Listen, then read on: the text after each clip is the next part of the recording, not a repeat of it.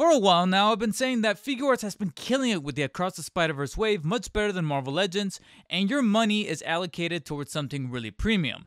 But I fear that the doomsday clock for Figuarts has officially started ticking.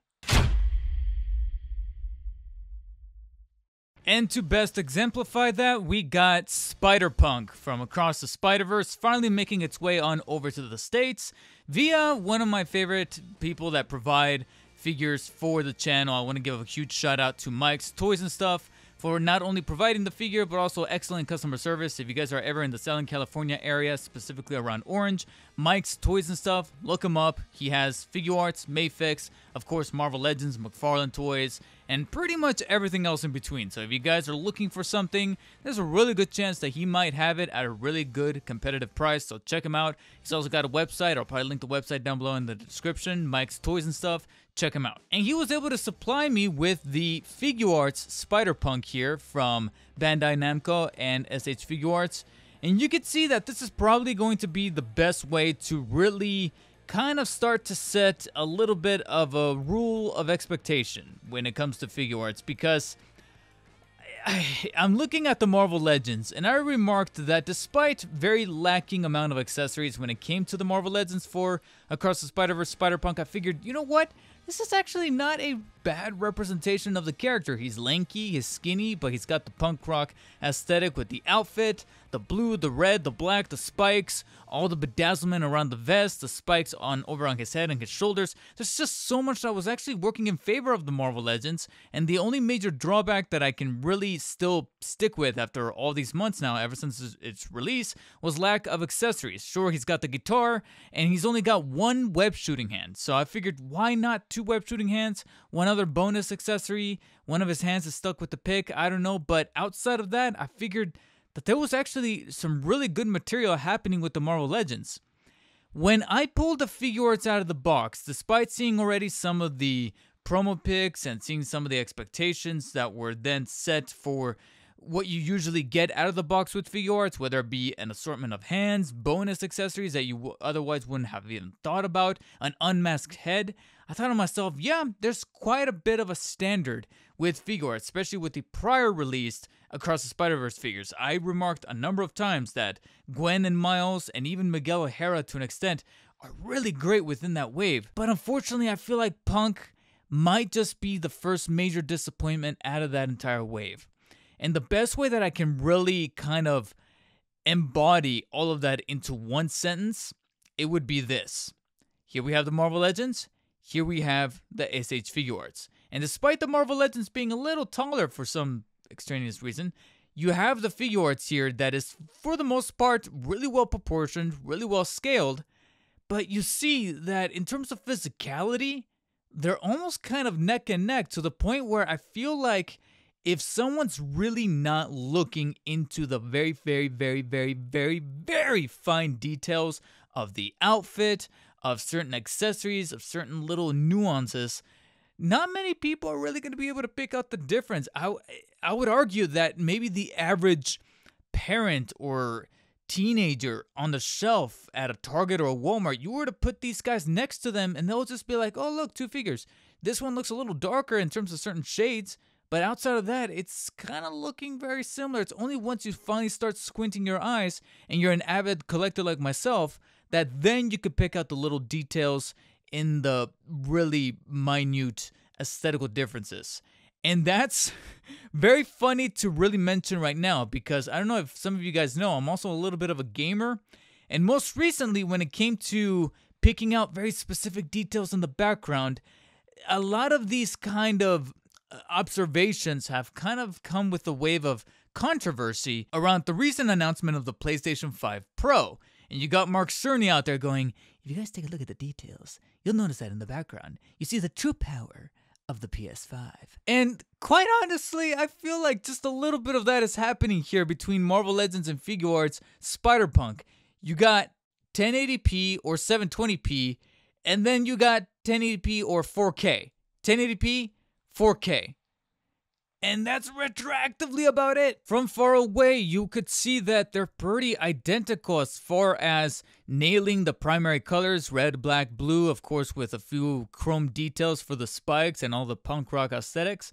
But then when you get a little closer, you'll notice that, yeah, the red, it's funny because the red for the arms and even a little bit of the mask and the undershirt where the webbing kind of starts is almost identical. It's very, very difficult to kind of point out the little bit of differences. But when it comes to the boots, it's really where you do get like a maroon red to kind of give it a little bit more of a shinier, very leathery look to the boots that I really do appreciate and feels a little bit more quality on the Figuarts versus the very plastic plasticky and rubbery texture to the Marvel Legends that you've come to expect to, you know, cut down a little bit on the cost. But outside of that, I'm it really does need a closer eye for inspection. I feel like one of the best areas would have to be the pants. They're black and they have that nice little patterning with the little checkerboard patterning right there where you see an awful lot of the achromatic aberration to kind of keep it within video game terms. But then you'll notice that the Figuarts went the extra mile of adding the little details of the patches, the little bit of punk artwork that you see within some of the stitching right here, whether it be the graffiti art or the little Black Widow spider symbol there on his right thigh, a little bit of extra detail behind the belts, the straps are kind of hanging off of his overalls, and then an added kind of layer of that chromatic aberration, that checkerboard kind of square pat- pattern that you have happening within the background of the pants. Whereas over here, you just have a couple of areas that have that little design, but outside of the patches, outside of the details, you're not going to find any of that. The shirt is almost identical, save for the lighter baby blue shade on the Figuarts versus that of the Marvel Legends. Same thing goes for those little like straps or whatever he's got going, kind of encroaching around the forearms and the hands, and then the, of course, the spikeage that's happening within the wristband as well as the armband over here, the very Freddie Mercury looking uh, wrist uh, armband that he's got right there with a little bit of spikes. Like I said, it's borderline identical, except you're just gonna have a little bit of added paint application because that's exactly what you pay for. Outside of that, you then get the vest, which, in terms of physicality, in terms of molding, almost identical, and I could almost argue it's made out of the same uh, quality of pla- rubberized plastic or rubberized material.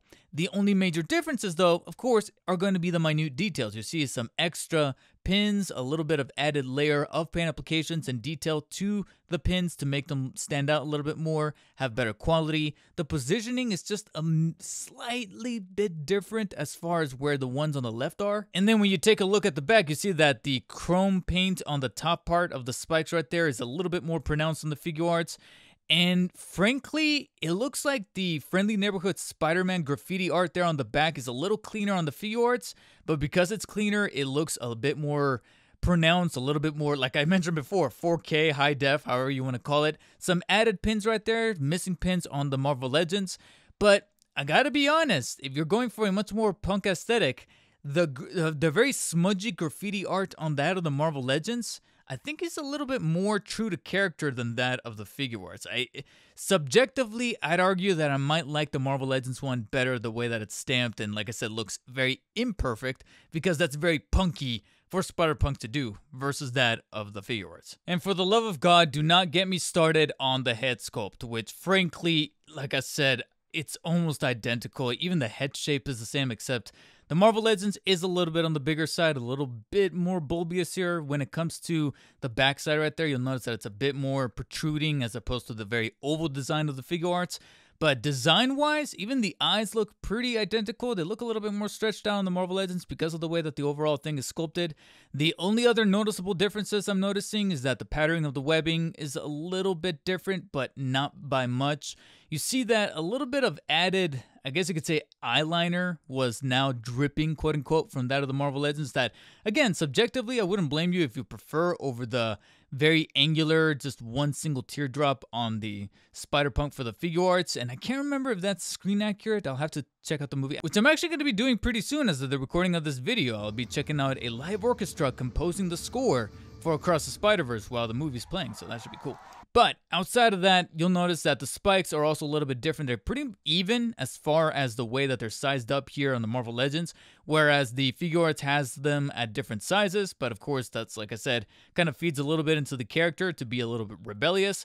But the chrome applications are almost I think they're just a little shinier and a little added in terms of layering when it comes to the Figuarts. But outside of that, like I said, the sentiment, the one thing that I keep going back to is that it truly does feel like you're going from PlayStation 4 to PlayStation 5. You're going from Xbox One X to the Xbox Series X. You're going from 1080p to 4K.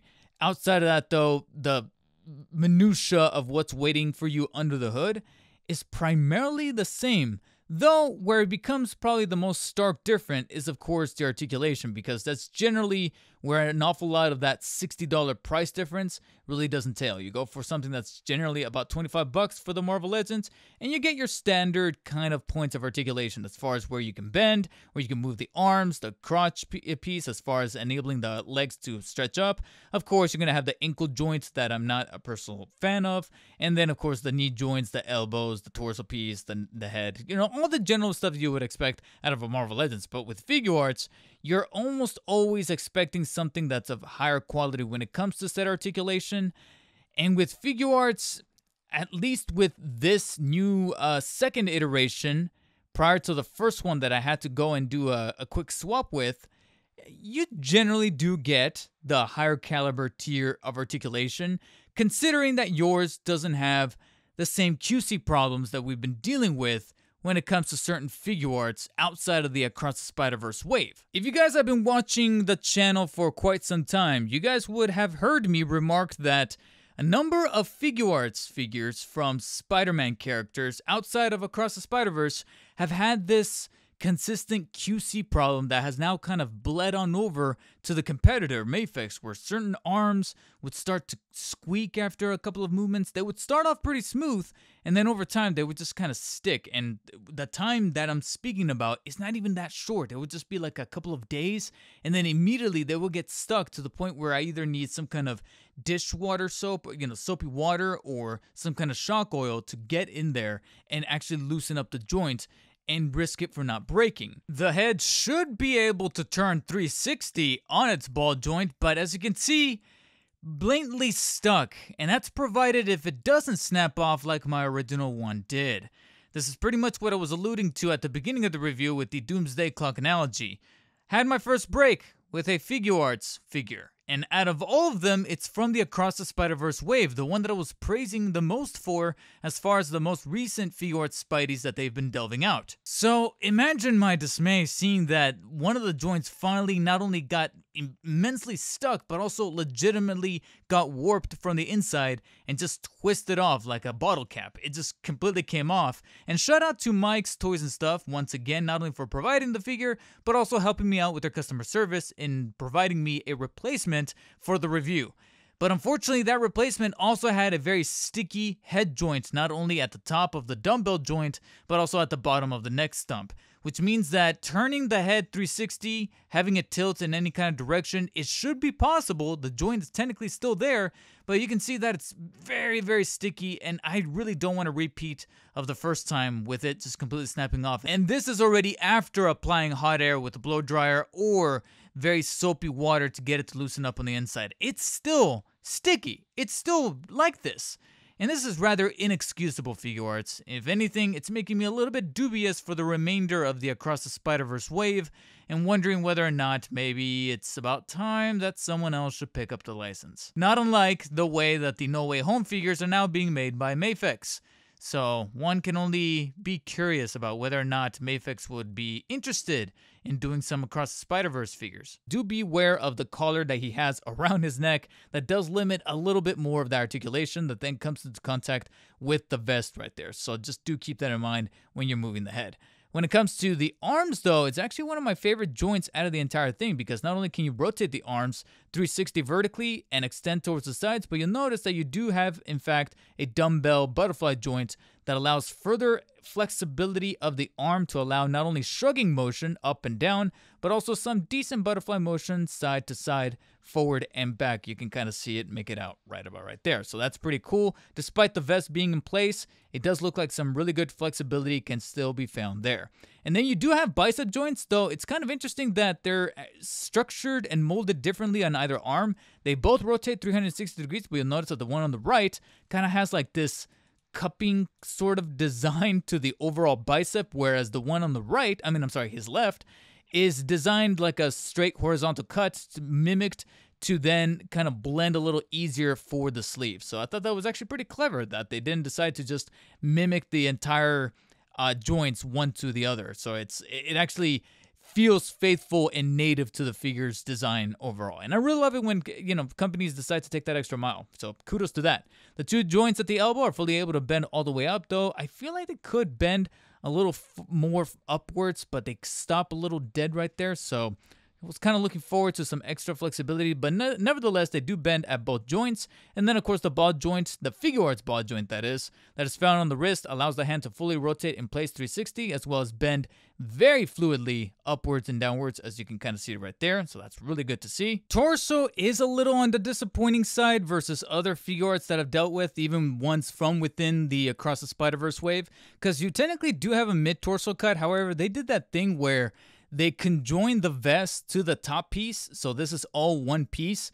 And due to his physicality, or his overall physique, rather, the way that his body is overall shaped and designed, he's got this very planky sort of feel to his abdomen.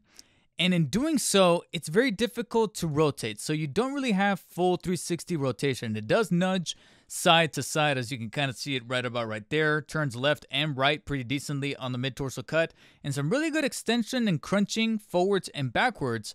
But the more flexibility you get is actually out of the waist joint. You can kind of see it right there, crunching and flexing towards the front, towards the back, side to side, and allows further mobility on the obliques but it's not really found out of the mid torso joint. You're mainly finding it out of the waist, which in turn can also sort of nudge side to side, but it never fully rotates because, like I said, everything is just so planky that when you turn it, it just kind of comes into contact with the top piece, and therefore you get some incredible amount of resistance. So I definitely don't recommend bending that or pressing that any further, otherwise you risk breaking the figure. So just do keep that in mind because that's definitely something that I fear the Marvel Legends is able to do much better is turning the waist cut full 360 all the way around and being able to kind of incline and crunch the mid torso joint just a little better because it's not restricted as much as that of the Figuarts because they're not going for that extra sense of detail or sense of realism. But when it comes to the top leg joints, they can still fully flex almost all the way up like so, right about right there. They do have a bit of a drop down functionality, so when you kind of place them back, they're actually pulled down, so you kind of have to place them either back in place or if you're looking for the extension towards the sides, you can see right there that they do a very fair amount right about right there. And extending towards the back, it slightly does it because of that drop down joint. It can kind of sort of flex towards the back, but the ass sculpt does kind of get in the way along with the overalls, so do be careful coming into contact with them right there. And technically, there is a bit of a swivel joint right below those leg joints, so it's not, I almost don't even want to consider it a thigh joint because it's not even in the mid part of the thigh. I feel like it would have benefited better if it was kind of halfway through the part of the thigh right here, but instead it's a little too high for my personal preference. I feel like I don't know, it's kind of a wasted opportunity that there's a there's a thigh swivel up there because when you try to swivel it, it's really the top leg joint that's doing most of the swiveling. So I don't know what benefit this swivel joint really adds besides maybe allowing the leg to kind of extend a little further. So yeah, if I wanted to turn the leg all the way around, I would have preferred the thigh swivel to be a little lower down here at the bottom here. So it could probably benefit the overall leg and posture way better, especially when you take into account that there's not much swiveling for the rest of the leg. That's actually another benefit that the Marvel Legends has because you can technically rotate the bottom boot pieces on a kind of, I guess you could argue, a shin swivel. So there's an actual shin swivel right underneath the knee that allows the boot, the entirety of the boot, to rotate 360 horizontally on the Marvel Legends.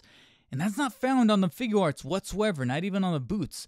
Right above it, you do have the two very comfortable knee joints that I really like Figuarts to do because they feel pretty good in hand but no other swiveling of any kind. So that's a, like I said, a lost opportunity. And then you do have the ankle joints that fully allow the leg, or rather the foot, to bend downwards and upwards and rotate in place and feel pretty good in hand as far as the smoothness. Except mine, again, going back to potential QC problems, the one on the right has both of them have these pieces that serve as like little guardrails. You've seen them on some Figuarts prior, but there's something funky about the one on the right that gets caught within the cuff of the boot. And therefore, I have to like finagle it for like a good minute to get the foot to actually bend downwards like so. Because if I just try to do it very casually, it doesn't do it. You see right there? It just stops. So I have to kind of press it forward to kind of guide the rail out of the way and allow the foot to fully bend down. So you, it, it needs some futzing to actually get that to happen, which is okay. You know, eventually it does happen, but at the same time, you, you also want, especially for the price that you're paying for Figuarts, you want there to be an added layer of convenience. So after a while, you're like, okay, I shouldn't need to futz. I really want to just bend the ankle right away, but instead I have to kind of do a little bit of extra work. And uh, I don't know how exactly I feel about that. But when you're able to look past that, you do have some extra toesy articulation that kind of bends all the way up, but it is a little bit on the shorter side versus some other Figuarts. And that's why you pay the extra bucks, right? To get the toesies that even the Marvel Legends cannot have. No, I'm definitely kidding because you could see right there that, yeah, you do get the added extra joints and the quality of the joints. But again, going back to my analogy, 1080p versus 4K, and the articulation sort of reflects that as well, especially when you take into consideration that the Marvel Legends, despite lacking some quality of set articulation or some extra joints, it also harnesses some joints that even the Figuarts doesn't have, like the boot swivels, or the better comfortability of the mid-torso joint that allows full rotation all the way around, or the fact that I'm able to move the head without risking breaking it. And you know what else you also pay the Figuarts extra for? Accessories. I already mentioned that the Marvel Legends, despite the $25 price tag, I still felt they could have done way better with the accessories. Because he does come with an extra hand, singular, not even plural. He's got both hands already kind of molded to favor the guitar, so on the side they only threw in one extra web shooting hand. What the hell, Marvel Legends? To this day, I'm still kind of pissed off about that, to be quite fair. With Figuarts, they still remind you that they are H Figuarts. You get hands up the ass. No, don't, don't, don't, don't make it weird. Naturally, he's got the neutral hands on his person, but on the side, he's gonna come with fisted hands, open, slightly stretched out, kind of reaching out hands. Open, you can almost interpret as wall crawling hands, or you can interpret as the gesture hands that he uses to tell Miles to use the hands, watch the hands. You know, Hans mate like he mentioned. That sounded more Australian than it did British, I'm sorry. He's also got the web shooting hands, and then he also comes with gripping hands, though it's kind of strange that no web accessories were thrown in with the figure, so I don't know exactly what he could be gripping onto. It could be just there for show, in case you want to back him up with some secondary accessories you could find in the aftermarket, or if you want him to hold onto the dimensional jumper wristband here. I can't remember what the official term or the title for this thing is, but of course, it is the watch that's utilized to jump in between dimensions, utilized by the entire Spider team. And it's pretty similar to that of the other characters' uh, uh, Dimension Watch, whatever you want to call it. It's got the same aesthetic, chrome and red paint, sized uh, accurately to that of Spider-Punk's skinny wrist. However, much like the Marvel Legends, he does come with an extra pair of guitar-centric hands, one of them has the black pick kind of embedded and sculpted right into the hand itself, and then the other one has this gesture to make it look like he's fretting the guitar, which in my opinion is sculpted immaculately. I just I, I don't know what it is, but there's something very well detailed and sculpted of, and nuanced about the way that the hand is designed to make it look like it's actually fretting a guitar. Like that's the that's the hand of a guitarist. Whereas over here, it just looks like he's trying to pinch cheeks, even though I know what they were trying to aim at. They were trying to go for a hand that looks like it could hold the guitar in place.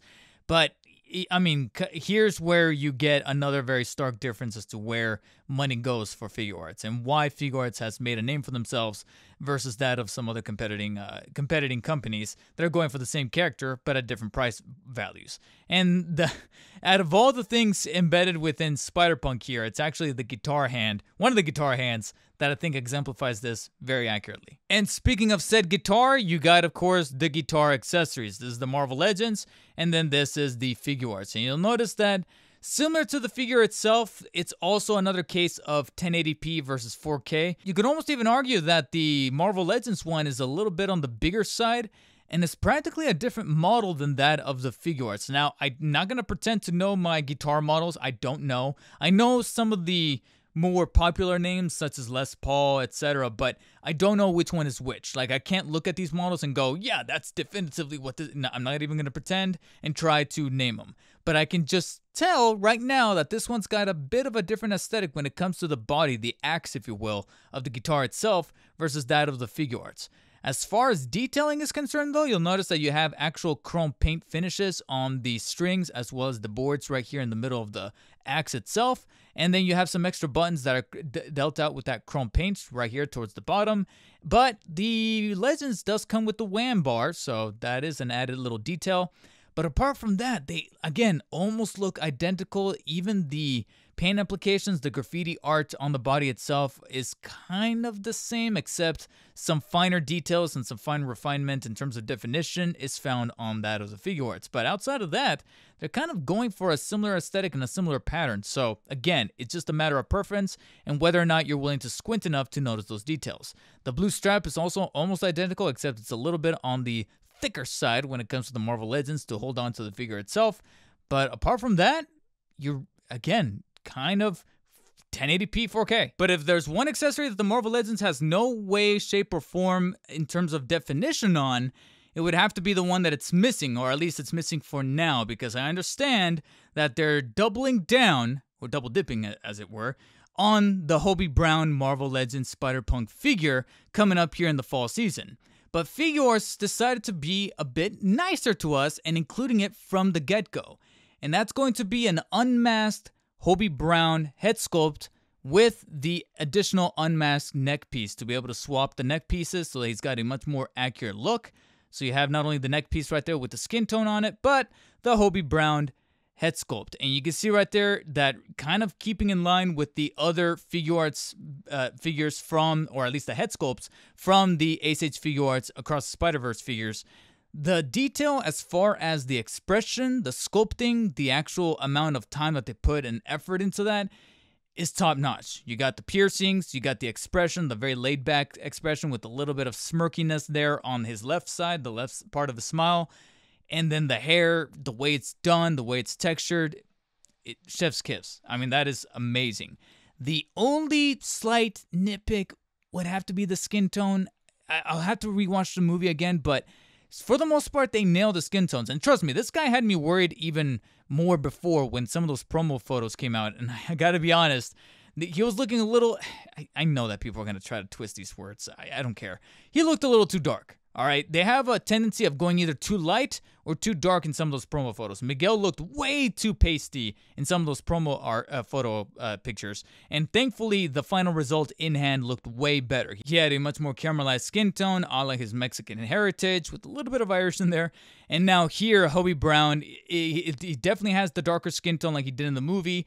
And even though I feel like it's still just a little too dark, it's miles better, no pun intended, than that of those original promo photos. So Good thing to see that the final result in hand looks much better. I just think that it could have probably been toned down a little bit more, but at the same time, I can't tell if that's really how it is accurately or if maybe that's just an effect that I'm kind of having a little bit of a Mandela effect due to the way that he's constantly kind of flipping in and out of that newspaper aesthetic when he's on screen. So maybe that's the reason for why I'm kind of having that perspective. So outside of that, what's really carrying this head sculpt though, it's got to be the expression and the sculpting behind that expression that is really top notch. And there's a part of me that almost wants to credit the Hobie Brown unmasked head as reason enough to pick up the figure art, especially since you get the added hands that go miles above, again, no pun there, towards the Marvel Legends one simple web shooting hand. It's really able to sell on why it is that Figuarts needed to take a whack at the Spider-Punk figure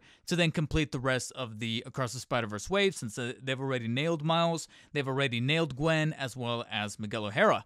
But I feel like maybe they got just a little too comfy uh, when it came to Punk as far as actually cranking it up a notch because it's really about that physique that I just couldn't really pull away how almost not different it felt from that of the Marvel Legends. You generally expect at least a weightier feel to the plastic or a little bit better quality with the plastic, and though I was able to find said quality within the joints that are almost always found on said Figuarts, they still weren't able to do much to make me look at the Marvel Legends and go, yeah, if you're still on a bit of a budget, still pick up the Spider-Punk, at least the original Spider-Punk Marvel Legends for, for the Across the Spider-Verse wave.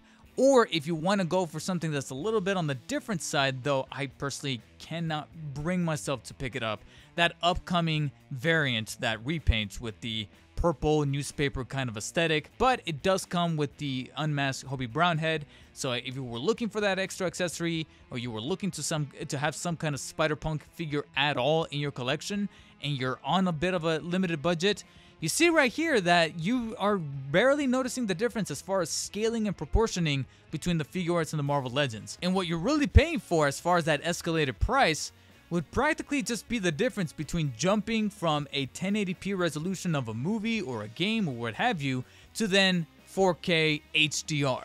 It really matters to you if you are that prestigious or that, dare say, bougie about your quality of figures. And if you're not, because I personally know some people that aren't, they're willing to watch a movie in standard definition, then th- that's practically the sort of people that the Marvel Legends is likely are going to be speaking to. So even though I am moved enough to at least give the Spider-Punk here a 7 out of 10 from SH Figuarts, I wouldn't necessarily blame you if you decided to hold back on this particular unit for the Marvel Legends to then kind of fit in with the rest of the Figuarts because you'll notice from some of the footage and some of the shots that he blends in not too badly. It's only once you start squinting that you'll pick apart those details that will then be decided by you whether or not you want to go for those added details for that extra price tag. And it definitely looks like this won't be the last time we're going to be doing a form of that comparison because finally, almost a full year and a half after the release of the film,